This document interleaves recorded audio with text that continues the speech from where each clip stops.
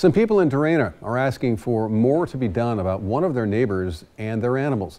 Videos and photos posted to social media allegedly showed uh, dogs, or excuse me, dogs on the property eating other livestock alive. KEZI 9 News reporter Aaron Ariano spoke with a former neighbor who says this situation has been going on for years. And we need to warn you this story contains disturbing descriptions and images, so please be advised. Animal control and the sheriffs would do nothing. Nothing call multiple times every month. And they had the two big dogs killing their goats in across the street and in the middle of the street all the time. Michael Levinson is the former next door neighbor to this property in Dorena. Multiple videos and photos on social media appear to show dogs on the properties eating other livestock alive. Levinson says it's been happening for years. They had a $2,000 white horse named Xena.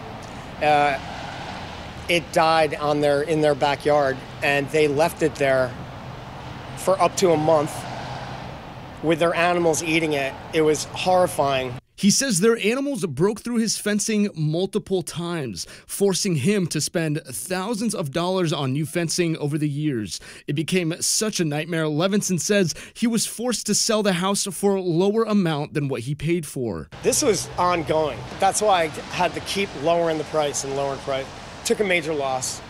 I mean, I lost 20 grand on the place selling it and 10 grand on the fencing. Levinson is one of several neighbors who have called the county and their animal control services multiple times over the years, reporting animal abuse and neglect. The PIO for the county, Devin Ashbridge, says that they've made contact with the property owner already multiple times. The people sharing these videos with us or calling to tell us about them have good intentions, right? But legally, we can't act on those.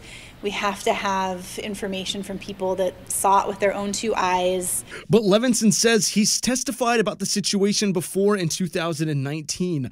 He says the consequences for the property owners was not enough. According to the county, the issues on the property only amount to certain code violations, not any criminal conduct. The county says it could pursue harsher charges against the animal owners if more people testified. Right now, an arraignment is set next week for the animal owners to face three counts of animal neglect and one count of evading an animal service officer. Another neighbor who wishes to remain anonymous says fines and a few animal seizures are not enough to fix this problem that's been going on for years. Like they try like on the surface to like fix the problem, but I just feel like it's like too much for them to take. I really feel like because we live out in the country, we're just easier to brush under the rug. What happens if those dogs, you know, kill someone, man? No, it's out of hand. Man. I thank God I'm not on that street right now. I reached out to the occupants on the property seeking comment. They turned me away while accusing all the other neighbors of lying about the situation. Reporting from Dorena, Aaron Ariano, KEZI 9 News.